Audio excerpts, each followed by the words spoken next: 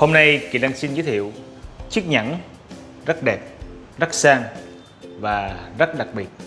Điểm đặc biệt mà Kỳ Lăng nói đó chính là hai bên hông của chiếc nhẫn này.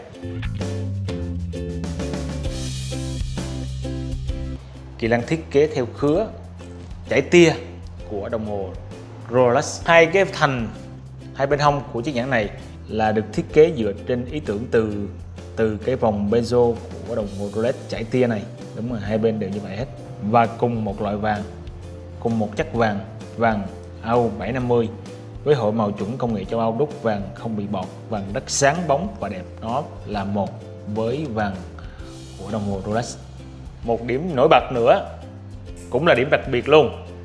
Chị Lăng xin giới thiệu tiếp. Xin mời camera. Ở giữa này, chị Lăng làm theo giống như là cái mắt xích của đồng hồ vậy. Lấy ý tưởng từ đồng hồ Rolex để làm ra chiếc nhẫn này. Đó giống như là cái uh, mắt của đồng hồ. Chi tiết từng nụ từng nụ nè. Điểm làm theo mắt dây của đồng hồ Rolex có đặc biệt nhưng chưa đặc biệt bằng nguyên cái cụm ở giữa này là đến full kim cương. Đồng thời nguyên cục này luôn xoay được. Đẹp lắm nhuyễn lắm. Và kỳ năng đảm bảo rằng là mẫu này bất kỳ tay to nhỏ như thế nào, đeo vào sẽ rất đẹp.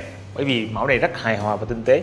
Mẫu này kỳ lân có thể khẳng định thêm là mẫu này là mẫu quốc dân về dòng nhẫn bởi vì cái bản này kỳ lân làm không quá to và cũng không quá nhỏ. Nó vừa, nó hài hòa với hai điểm nhấn.